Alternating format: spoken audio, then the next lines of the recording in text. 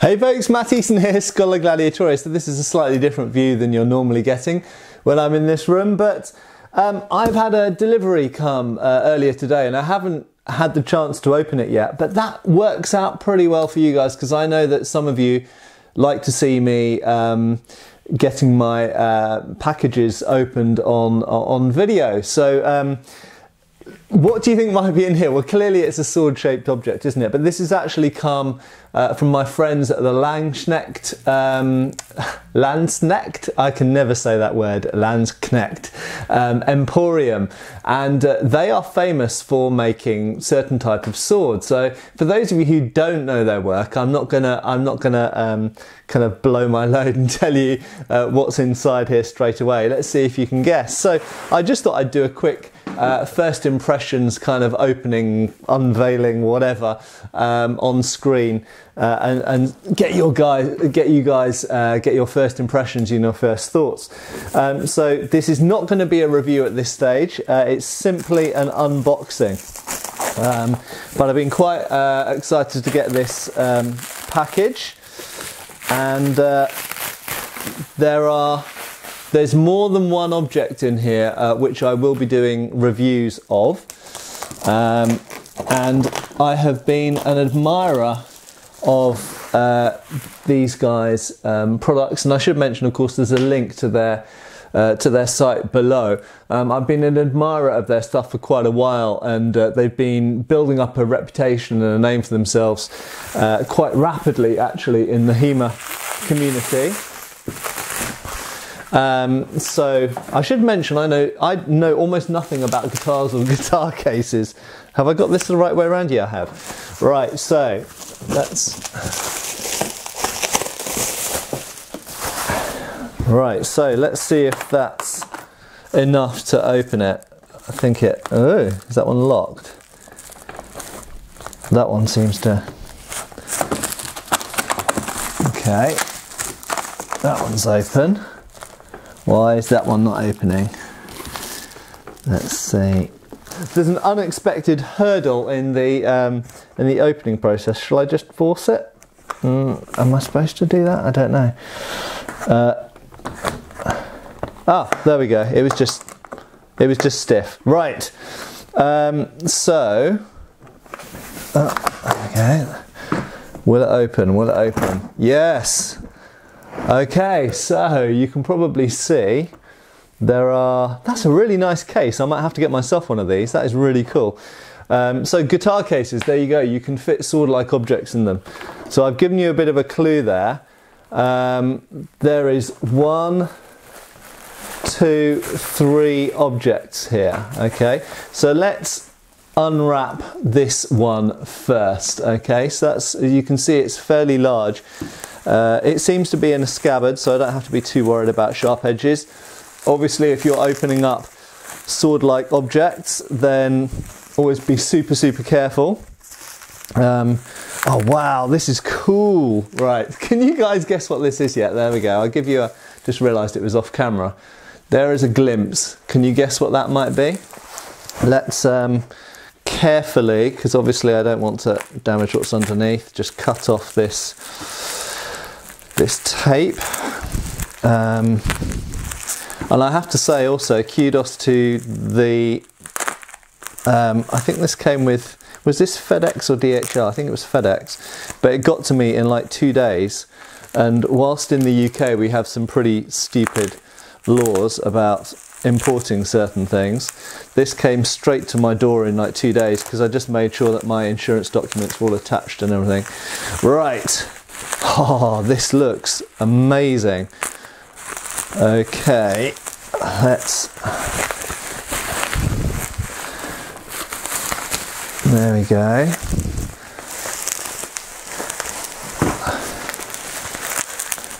As I said, this is not going to, by a long stretch, this is not going to be a full review. I'll do full reviews of each of these three objects.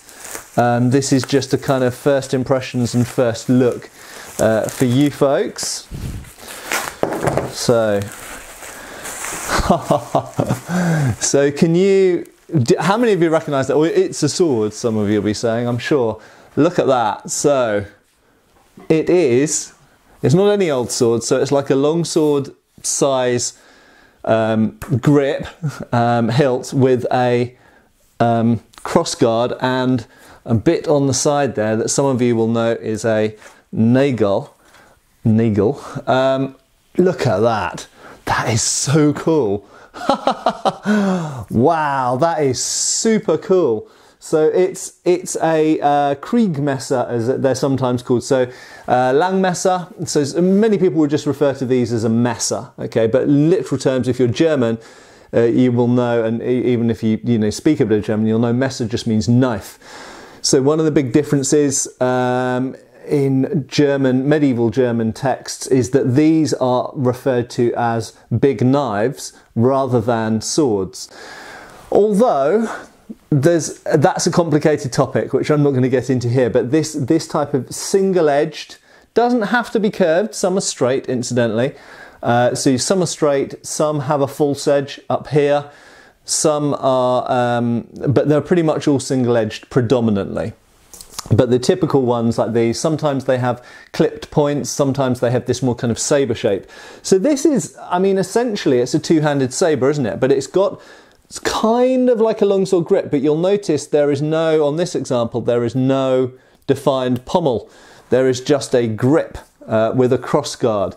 So it's got a nice big cross guard, and then very characteristically, they have this uh, plate on the side which is known as a nagel or nagel, I think maybe it's pronounced, uh, which translates to nail. Uh, because it sticks through like a nail and is riveted on that side. But I'll talk more about that when I actually do dedicated videos on these. And this, I should mention, is sharp. Yep, feels pretty sharp. Um, but that's lovely. It's got a lovely flat grip, so you really feel the edge alignment. But I'm, I'm saying too much. Of course, I will talk more about that when I actually do the video about it. Um, oh, that's sticking a bit in the scabbard, so I'll just leave that there for now. But the uh, it has two little knives that fit into the uh, scabbard down here. Um, there we go. Little uh, eating knives, essentially, or utility knives. Maybe that one is something else. Maybe it's a Oh no, it is another knife. I guess sometimes it might be something like a fork or something. But anyway, I'll put that one down. Let's have a look and see the other two.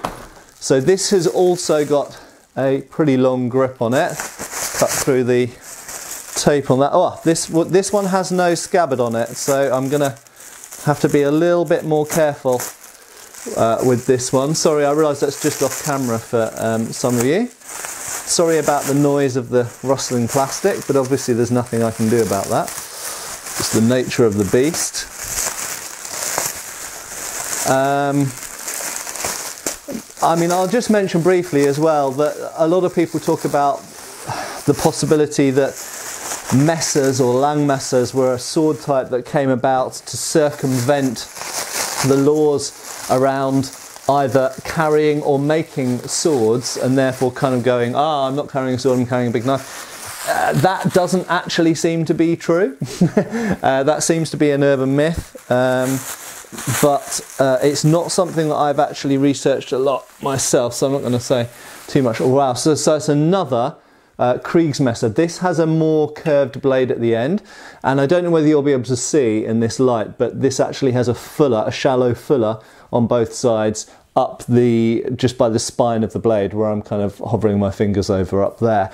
It has a nagel. This one's a more flat nagel instead of a um, or nagel in, instead of a, a, kind of curved one. It has quite a similar grip and it has a slightly simple, more simple guard. It doesn't have the added sort of knobs on the end that the other one has. Uh, it's a, just it's just a bit smaller as well. This is a kind of smaller, more um, slightly more nimble one, uh, shorter shorter blade.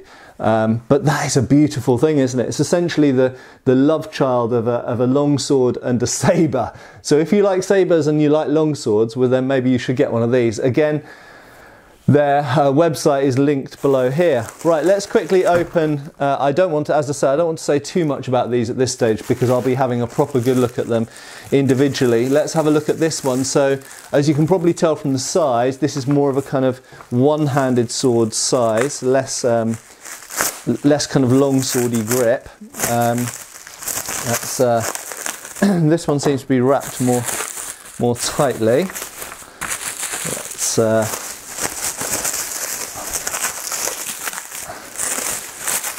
This is uh, very well wrapped. So, you know, I have to say, they've been, uh, Adam and um, the guys at Langsknecht um, Emporium have been a, a, pleasure to, to deal with uh, and to chat to. They seem like lovely people. Um, and as I say, their company seems to be going leaps and bounds, seems to be really going forward at the moment. And they're the first company, really, that I'm aware of who have specialised in the manufacture of messers. So, you know, there are other people out there making messers, but they are the first company that I'm aware of who really have made their name making messers. So it's what they specialise in.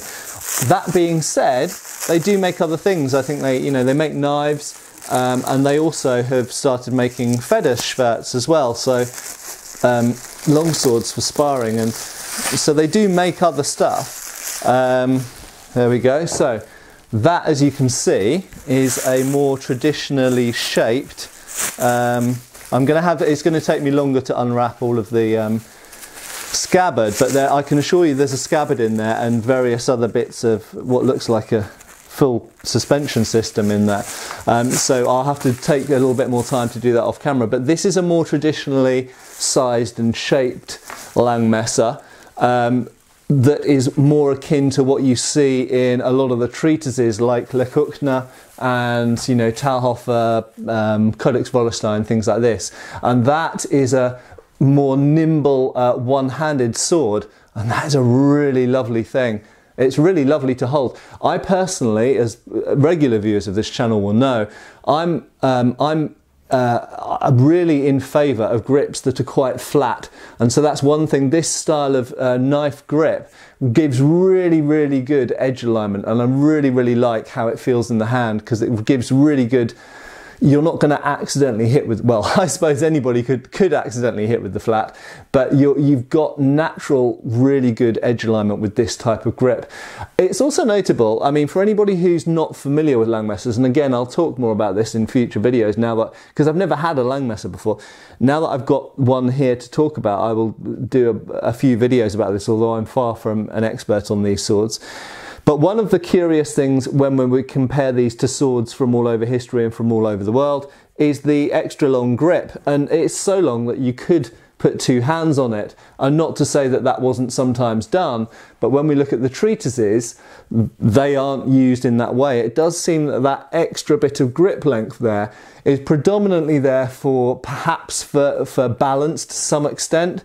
And it's also used for hooking actions. So most often when we're looking at the techniques, if we look in uh, for example, or even Dürer.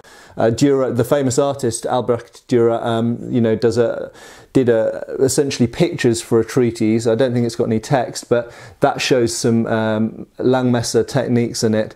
And um, these, this end of the pommel, uh, this end of the grip, is used for hooking in all sorts of different ways.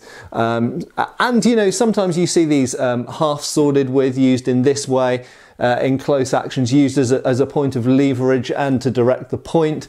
Um, so they're as well as being a kind of almost machete like blade, really, uh, they're used in quite diverse ways. And you can see they've got a very effective point on them as well. So, you know, they're fearsome cutters, um, but clearly with good good points also. Right, okay, so I'm not going to talk more about these. I'll talk about them individually. I'll do individual videos on each of these. Uh, but thank you very much to Landsknecht, uh, and one day I will learn to say that word, Emporium. Link below to, uh, to their uh, webpage if you want to look up more of their stuff and see what they do and see their offerings and their very reasonable prices and all that kind of stuff. Um, and I hope you've enjoyed the unboxing element of this. I thought I couldn't let you guys miss out on that.